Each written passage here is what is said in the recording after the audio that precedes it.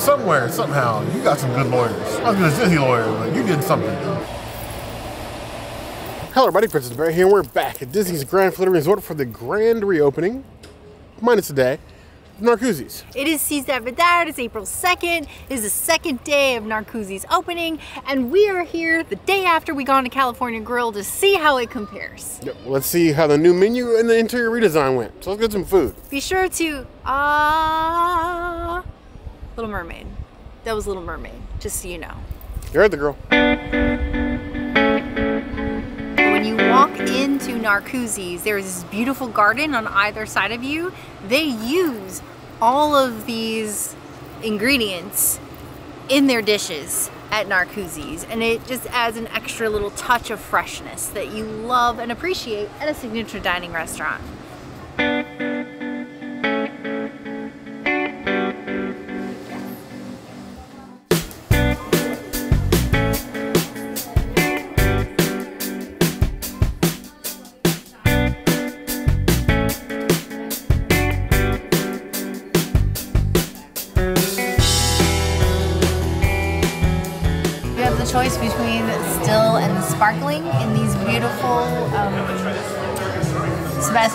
Bistro style glasses, but we're not getting cataled here. They're not charging us for still water.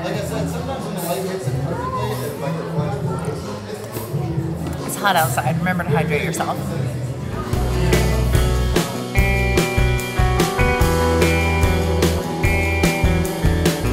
You can never go wrong with a margarita. It's tried and true and safe and delicious and tart. Always nice to have a tart drink.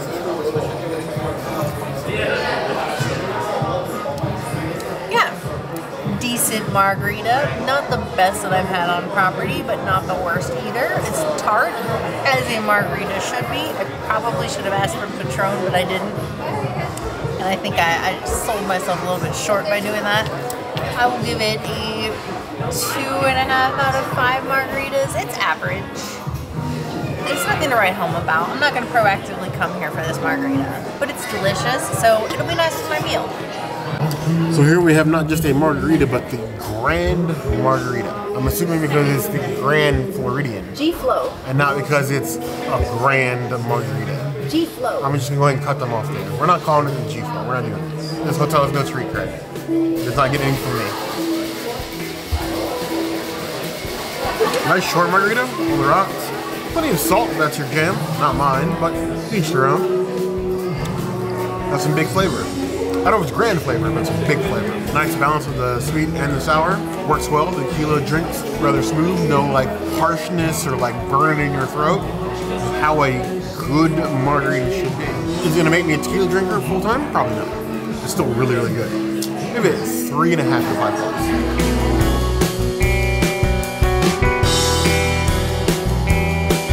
Here we have the paper plane, which is bourbon, Aperol, and some lemon juice. Uh, the bourbon is unconfirmed vegan, so no princess and more for me. Uh, but maybe I should have some bourbon a little bit later. Uh, look at the little spritz of the lemon. This is signature dining bourbon. Not bear bourbon, but signature dining bourbon. Fancy. Like I feel like my fingers aren't dainty enough to pick up this glass, and I, I stabbed one finger. Don't mind that. Ooh, it's tart the lemon and the Aperol, it drinks like a bourbon lemonade. If it was a vegan bourbon, I feel like the princess might like this. But let's try to avoid the unconfirmed, the unconfirmed if they're vegan. Most of them usually are, but just to be on the safe side, she avoids them. It's a good bourbon drink. It's not as good as some of the bourbon drinks that I had to say like Wilderness Lodge, but it still wets my palate. Giving it an even three and a half out of five claws.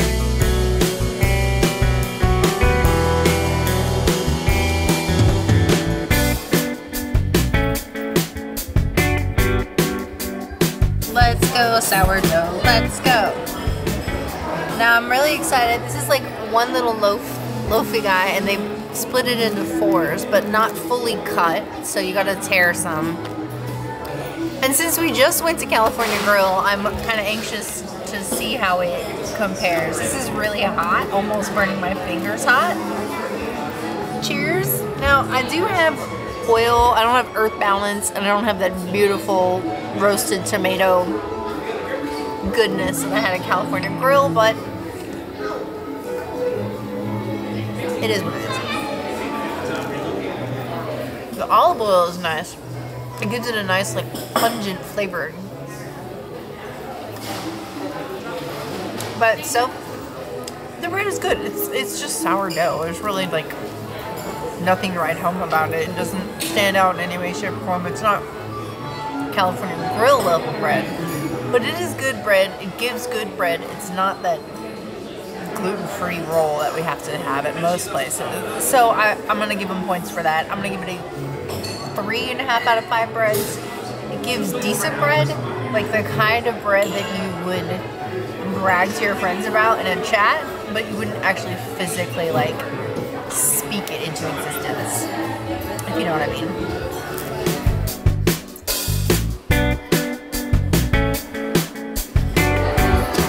We love a good sourdough, good bread. A good restaurant that knows what's in their bread is what we want. You're into so many restaurants that have like a variety of bread, but they don't really know what's in them. This, made in-house, fresh, gives us exactly what we need. Warm piece of crispy outside sourdough, super warm center. It is very hot. And I'd rather know that it was hot and fresh than sitting in the back, pull out of a package somewhere.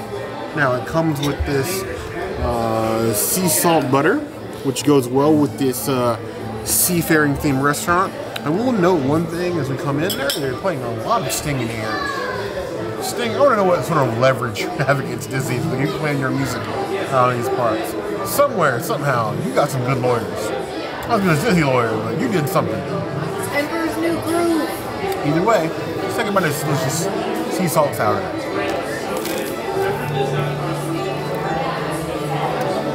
Bread is so crispy and delicious. You'd swear that we walked into a bakery and not a city touring restaurant. This is peak sourdough. It's hitting everything right. It's a pre-dinner bread. It's four and a half out of five plus. It's not anything out of the ordinary, but it's doing everything that makes sourdough sourdough so well. Just hitting high scores, hitting the basics, and sometimes you get a good score.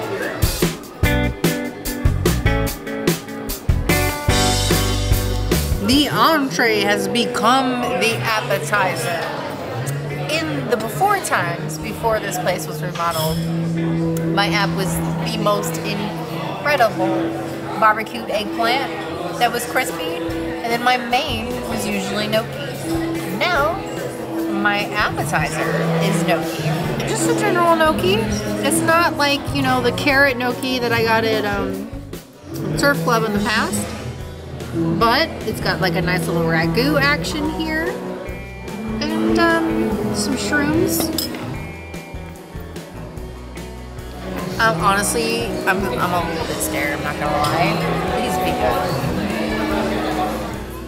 The sauce sets the gnocchi off.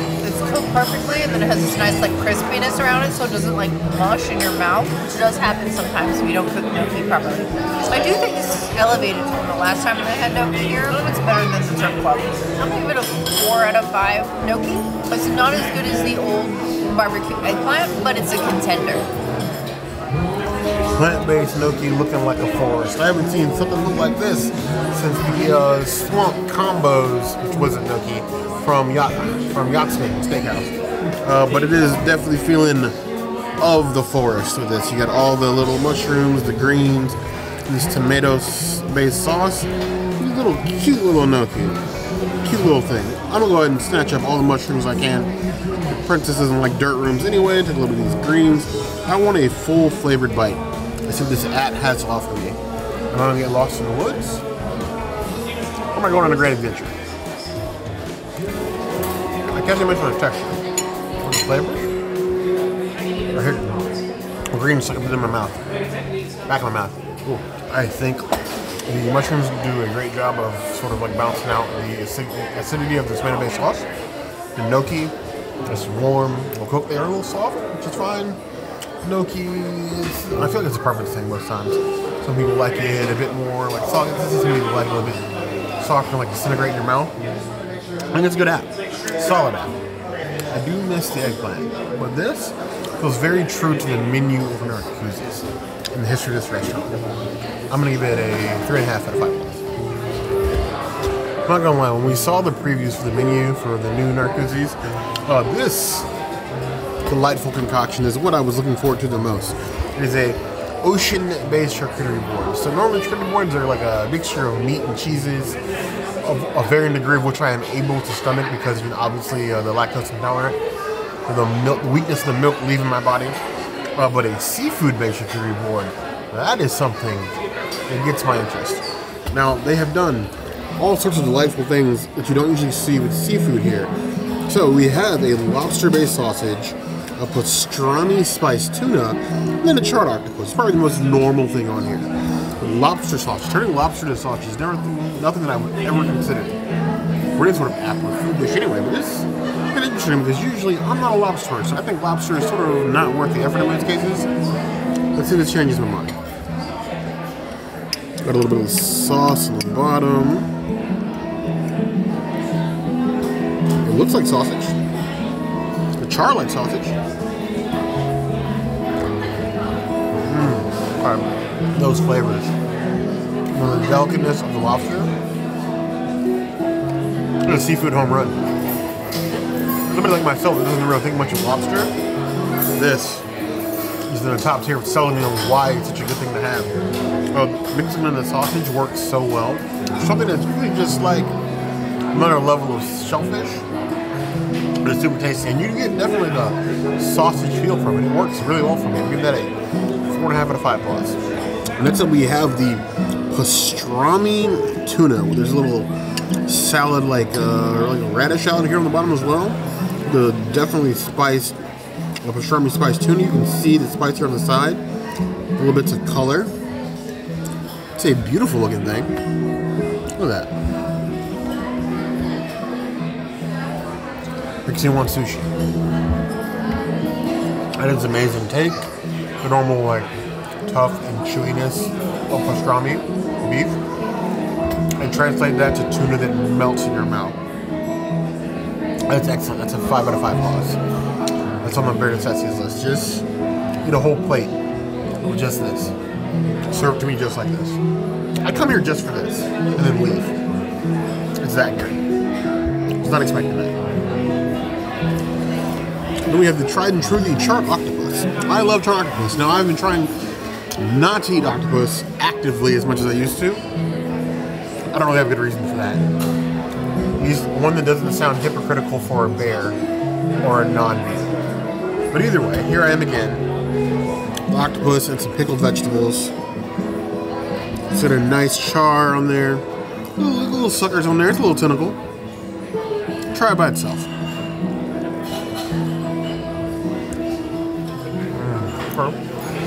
It's a bit more tender than most octopus I get. Flavored well, soaked up seasoning. They've been marinated with sauce. Tastes good. It's chilled. Um, usually, the octopus is usually served hot. You eat it chilled. No problem with that. Um, if you have a problem with like textures, as with most octopus, you're not gonna like this. Honestly, it's probably the weakest thing on here, but it's still really strong. I'm gonna give it three and a half out of five plus. I'm giving the entire plate strong four and a half. It's worth it. This is the this is the app to get. And I still have the shrimp and grits on the menu, which is my favorite. I've had shrimp, shrimp and grits tons of times. It's a five. If it's still the same as it was before times, that's a five out of five all day. But this, this is probably my new favorite, even though not everything on here is hitting a five. I like it. I'm impressed.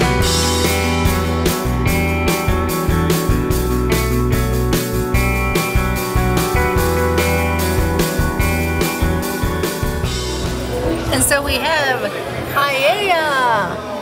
We have paella so many different places uh, on this channel. Um, Columbia Restaurant, Jaleo, Catal, so many places. The presentation on this one is very different from any paella that we've had. The rice is actually at the bottom and the veggies are on top. So really feel like they didn't cook it in this pan that they served it in.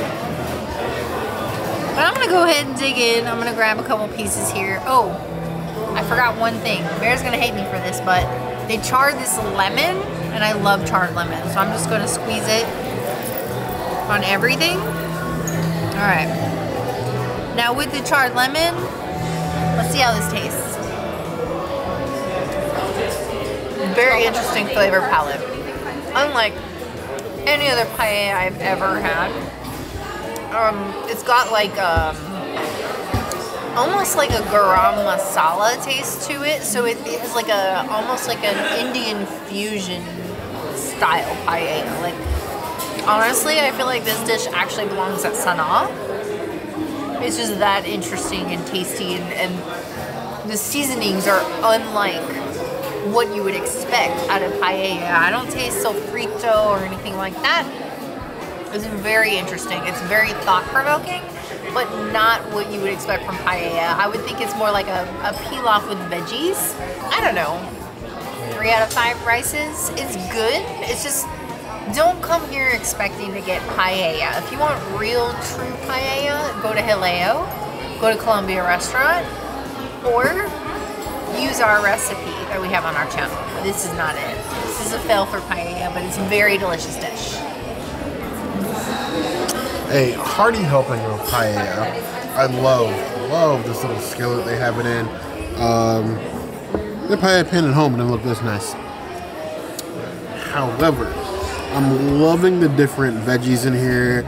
We have artichoke, we have asparagus, you have some uh, haricots, verts, peppers, tomatoes, peas. It is absolutely filled to the brim with vegetables.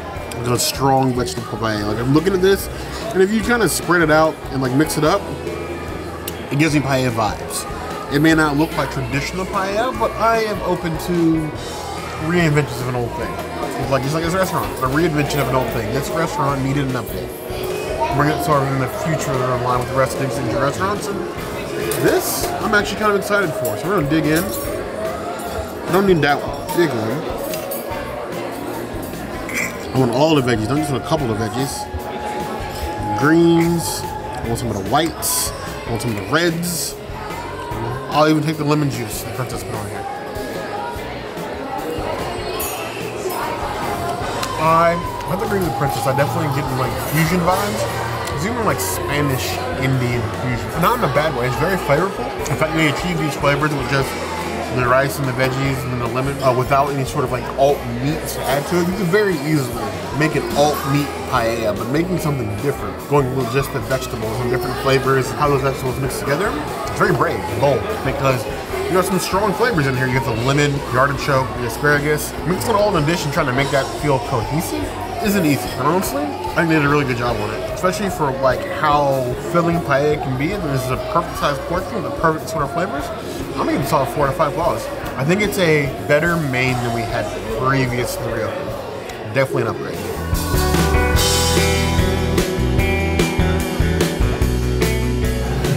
So here we have one of the new dishes, the blackened redfish. Uh, now this has quickly become apparently, according to the servers, their new favorite dish on the menu. It looks beautifully stacked with that beautiful two stacks of the blackened redfish and the sauce, the veggies. Sometimes you got corn, peppers, the pearl onions in there, all sorts of deliciousness in there on top of this slaw. In the sauce.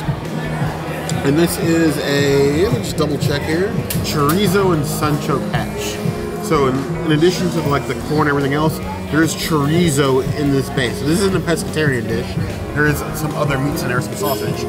Um, but these flavors I'm excited for. I don't eat redfish that often. So uh, new fish makes for happy bear. And it's so beautiful, I almost don't want to wreck it. This is the prettiest fish stack I've had in a long time. But all good things must come to an end. Look at that. How beautiful that's. It's nice and flaky. The skin on the top of the redfish looks beautiful. The hash, look at that. Look at that stack. Look how it on the fork. That's not me like chasing food around a plate. That's just beautifully stacked hash. The beautifully cooked redfish. Those thinly sliced pieces of potato with the corn and the chorizo, perfect complement to the blackened redfish. This flavor. It's like a, a delayed flavor bomb. The initial flavor smacks you in the face, and then it just sort of spreads out. Sort of like a hot sauce. It just gets better as it keeps going. feels like one of those things that's so good like you're almost cheating. Like you, like hash is usually like a breakfast or brunch thing. and then you have the, like this delicious fish, and then you add trees into it. It feels like a brunch item made for dinner, and I'm not mad about that. Um, I love it. I think I actually love it more than shrimp and grits. Uh, I'm even five out of five plus. This is something special. Now I know there are some stands out there that love the old Narcoossee's and getting on the menu. Don't come. Everybody else, come eat this. Mic drop.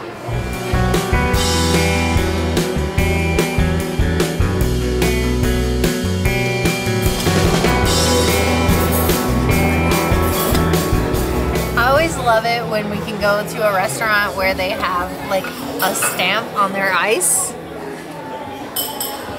It's not as easy to read as a GF or an RR, but it's a Narcoossee's, and there's no other restaurant that has a stamp of their own restaurant name. Cheers to the old-fashioned Narcoossee's.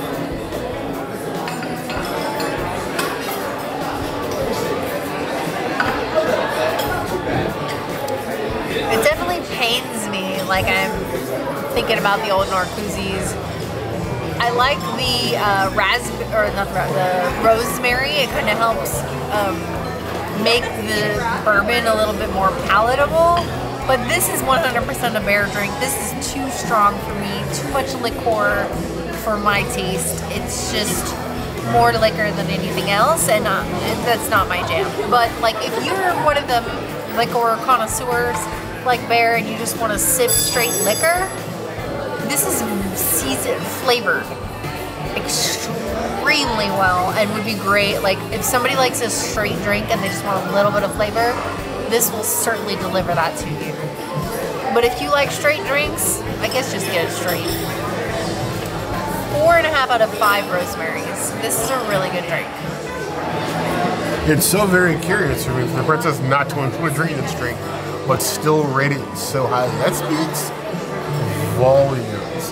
I like a good stamped ice cube. I don't have many joys in life, but stamped ice cubes is a thing. It's a simple joy, and I'm taking it.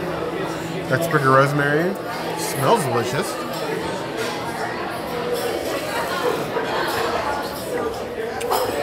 Ooh, okay. Manhattans and old fashions are a hard sell for me.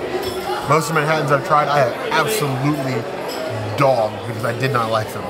Uh, not necessarily because there's something wrong with the Manhattan, but it's like something that I'm trying to grow into. I'm a straight bourbon type of bear. I don't get fancy at home with those.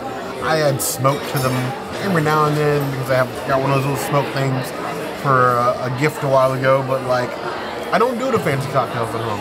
But this, this is a Manhattan I can get on board with. This makes me want to sit It's an outside. Not Manhattan. Old fashioned. This is old fashioned get on board. I can sit out here on the balcony, sip my little drink, little smoker's jacket on, with no cigar because I don't smoke, and just sit this and watch the fireworks from Magic Kingdom. It's Happily Ever After season. But the place I want to watch Happily Ever After is here in this bar. That's my new spot. I'm gonna give this four and a half of five coffee. This is extremely good. Cocktails ahoy.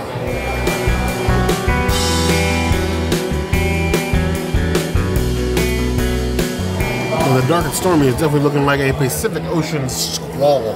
Typhoon, maybe like a cat two. Look at them colors. That'll be that's that's like that's like a Polynesian sunset. Even though we're in the Grand Floridian. Look, at- look at that color. Sunsets don't get that pretty in Florida. Let me saw this. Just that smell the aromas. Now, one big change for Narcoossee's that we've noticed, and we even talked to the beverage manager, is you can have Narcoossee's before. Very, very, very rarely do they ever have any sort of specialty cocktail. It did happen, but it's basically just straight bar. None of like signature cocktails or themed cocktails you come to expect from most expensive restaurants. This is a night and day improvement already from what they had before. And you have a bar, people come visit the bar, come drink. Tell tell the uh, beverage manager Chris how good a job he's doing.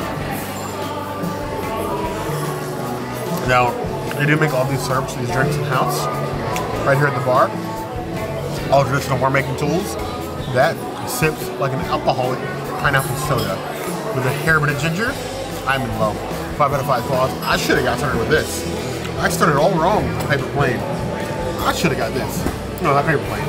I, I should start with this. I'm thinking about how. This, this is amazing.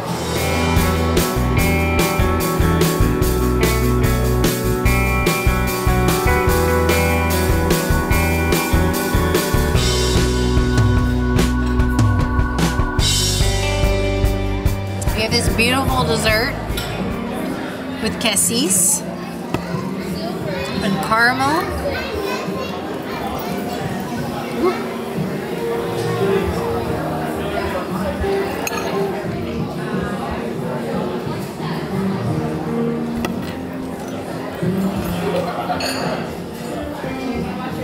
It almost reminds me of like a Haagen Dazs bar, or as we say in Farsi, Hawkin dogs, but it doesn't taste like hockey. So, hawk means dirt.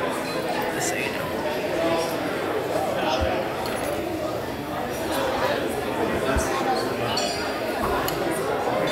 Hmm. It's intriguing. You can definitely taste the berry and then chocolate. I was expecting a little bit more of a crunch, but it was still really delicious. Not Haagen Dazs level, but decent. I don't know.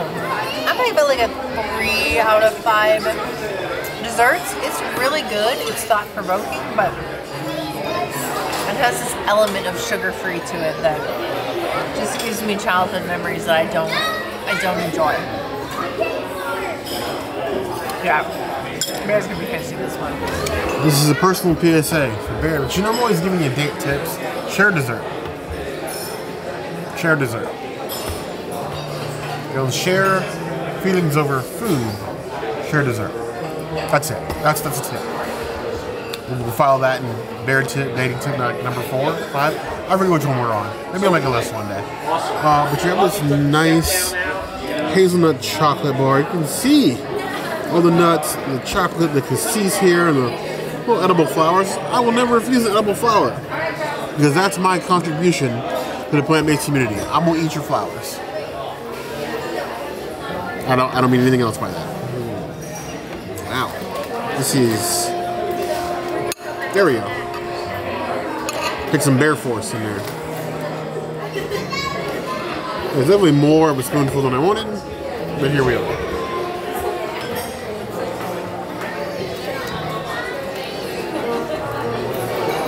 Very interesting array of flavors. Chocolate and hazelnut go well together. Cassis cream has a little bit of sweet from the bitterness of the chocolate and the hazelnut. They go well together. It's a bit of a texture water slide. It's like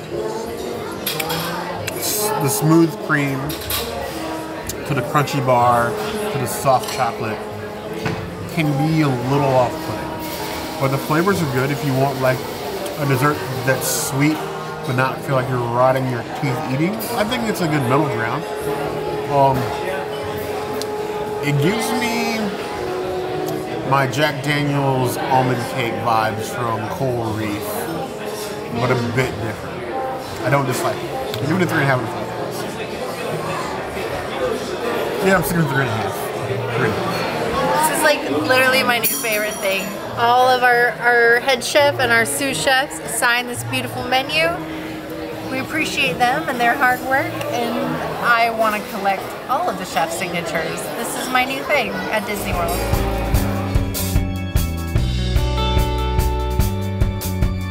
So, that has been the reopening of Narcoossee's.